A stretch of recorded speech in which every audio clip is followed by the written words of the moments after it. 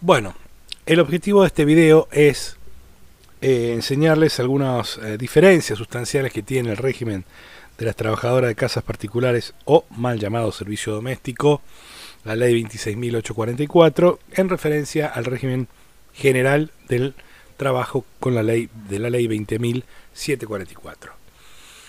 En primer lugar, vamos a decir que este, este régimen se aplica únicamente para las trabajadores y trabajadoras de casas particulares que trabajan en familias, no en empresas. Por lo tanto, si eh, trabaja únicamente en familias, se aplica este, este régimen especial. Pero si esta señora que trabaja en esta casa de familia, después el gerente, el, perdón, el, el, el empleado se la lleva a su fábrica y ahí la hace limpiar, se le va a pasar a aplicar el, el, el CCT, es decir, el convenio colectivo de trabajo de limpieza, ya no sería servicio doméstico, es decir, va a absorber eh, lo mayor a lo menor, es decir, lo más importante, el convenio colectivo de limpieza, a este régimen de servicio doméstico. No va a poder decir ese señor que era una trabajadora de servicio doméstico, por más que limpie su casa. Es una trabajadora de la limpieza del convenio colectivo respectivo. Eh, bueno, esto de que quienes sean los beneficiarios de este régimen sean, eh, no sean empresas, sino familia, ha hecho que eh, haga que el régimen sea discriminatorio. ¿no? Entonces, en primer lugar, tiene un régimen especial, mucho más beneficioso para el empleador, y en segundo lugar, es un régimen que procesalmente eh, también discrimina porque la trabajadora de servicio doméstico, una vez despedida, los reclamos no los puede hacer directamente la justicia, sino que tiene un procedimiento especial en el Ministerio de Trabajo, Secretaría de Trabajo o Subsecretaría de Trabajo de cada provincia. Con lo cual lo pone en una situación de discriminación, de desigualdad con respecto a otra trabajadora. Y le voy a poner un ejemplo. Perdón, tengo alergia. El ejemplo es el siguiente. Si esta trabajadora de servicio doméstico trabaja en una casa, luego a, la tarde mm, trabaja en una oficina limpiando limpiando este, la oficina, otra oficina. Como se darán cuenta, el trabajo es el mismo, nada más que por uno por ser empresa se le aplica la 2744 y en el otro por ser una trabajadora al servicio de una casa particular se le aplica otro régimen, ¿ok? Que es más benigno, más benigno para el empleador, por así decir, ¿no? Aunque se le haya otorgado en principio más beneficios o más derechos a la trabajadora. Bien, visto esto, eh, quiero mostrarles yo algunas diferencias en general.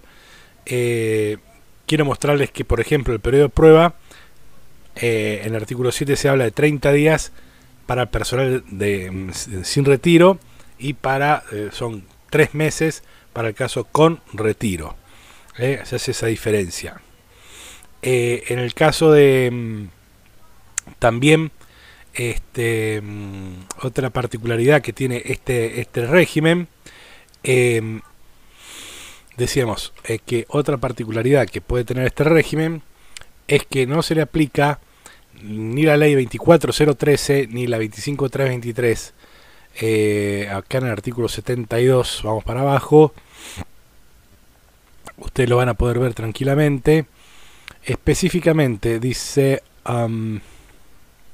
no serán aplicables al presente régimen las disposiciones de la 24013 la 25323, artículo 1 y 2, y la 25345 respecto al, artículo 80 de la ley de contrato de trabajo. Por lo tanto, a partir de ahora ya saben, las liquidaciones no pongan, no hagan, eh, no pongan incrementos ni multa, ni como quieran llamarle de la 24013, 8, 9, 10 de la 24013, ni tampoco el artículo 1 ni 2 de la 25323, ni el artículo 80 de la 20744, porque no va, no corresponde. Correcto, el caso de la 25323 artículo 1 fue suplantado por el artículo, vamos para arriba, por el artículo 50, cuando dice que en caso de ausencia o deficiencia en la registración al momento de la extinción de la relación laboral se paga el doble de la indemnización por antigüedad. Está más que claro. Acá lo establece porque dice que es eh, la indemnización prevista por el artículo 48 se duplica. Y se trata de la indemnización por antigüedad que es eh, la indemnización equivale a un mes de sueldo por cada año de servicio o fracción mayor de tres meses, como la ley 2744. Digo yo que en general esta es una prácticamente una copia de la 2744, pero tiene sus bemoles, tiene algunas pequeñas diferencias que hace que el sistema en sí haga discriminatorio eh, a todo este régimen, ¿no? En general.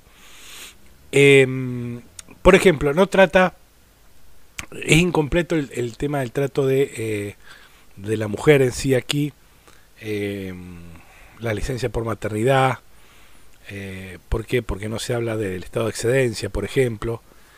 Este, en fin, pero sin embargo, siempre termina aplicándose la ley 2744 porque, porque, porque, porque, si nos vamos eh, al artículo 1, eh, dice, resulta de aplicación del presente régimen las modalidades de contratación reguladas en el régimen contrato-trabajo o sus modificatorias en las condiciones allí previstas. Y más abajo, al final, también más o menos dice lo mismo, diciendo de que aquellas que no se. Mm, aquellos eh, derechos que no se encuentren acá, pero que se encuentran en la 2744, se aplican la de la 2744. Correcto, con lo cual ahí podríamos empezar a equilibrar un poco el tema. Este. Mm, otro tema interesante acá que debemos ver, que debemos ver, es el tema de... Em, perdón, perdón, perdón. Aquí el tema de las remuneraciones. El tema de las remuneraciones. Nosotros estamos en julio y acá tengo yo junio del 2021. Siempre ha habido una confusión respecto a la hora. Esto que pone acá monto por hora, monto por mes. ¿Por qué hace esta diferenciación el Ministerio de Trabajo? A ver, eh, ¿por qué? Porque el Ministerio de Trabajo en el año 2020 saca una resolución que les la voy a mostrar acá, que es la resolución 1 del 2020 de la Comisión Nacional de Trabajo de Casas Particulares que pertenece al Ministerio de Trabajo, que dice básicamente esto. Si me voy para acá, dice, respecto, artículo 2, respecto de quienes trabajen para un mismo empleador, lo voy a poner un poquito más grande, a ver si se puede. Ahí está. Respecto a quienes trabajen para un mismo empleador, menos de 24 horas semanales, el salario se liquidará de acuerdo a la modalidad retributiva por hora. Menos de 24 horas semanales. Es decir, si yo trabajo 23 horas semanales, 24 horas semanales o 23 horas semanales, lo multiplico por 4, eso me está dando 92 horas mensuales. Si yo trabajo 92 horas mensuales, tengo que liquidarlo por hora, o sea, por esto. Con retiro o sin retiro. Menos de 92 horas mensuales. Más de 92 horas mensuales, tengo que venirme acá y sacar el proporcional. Esto está calculado por 200 horas. Por 200 horas. Que son 25 días por 8 horas, 200 horas. Si yo trabajo 100 horas o 120 horas, tendré que sacar la regla de 3 simple. Si por 200 horas me pagan 28 mil pesos, por 150 horas me van a pagar X. 150 por 28 mil dividido 200. Eso es la proporción.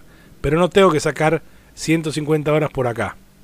Porque esto que está acá es solamente para aquellas que trabajan menos de 92 horas mensuales. ¿Está claro? Entendiendo, si se entiende eso, genial. ¿Ok? Eso entonces, vuelvo a reiterar, respecto a quienes trabajen para un mismo empleador menos de 24 horas semanales, estamos hablando menos de 24 horas, pongámosle 23 horas semanales, eh, Bien. Em, entonces, cerca de 92 horas, entonces sí se le aplica por hora. Multiplico por esto. Si trabajo más, ya entonces tengo que sacar el proporcional acá. Ustedes me piden explicaciones por qué, no sé, pídanselo al gobernador, al gobierno, no al gobernador, al gobierno nacional. ¿Ok? Porque es la idea que, que han propuesto. Eh, incluso en el 2020. Si ustedes se fijan acá, no como acto administrativo que es una resolución, no especifica el porqué de esta diferenciación que dice acá. ¿Ok? Así que habrá que pedir explicaciones al gobierno nacional.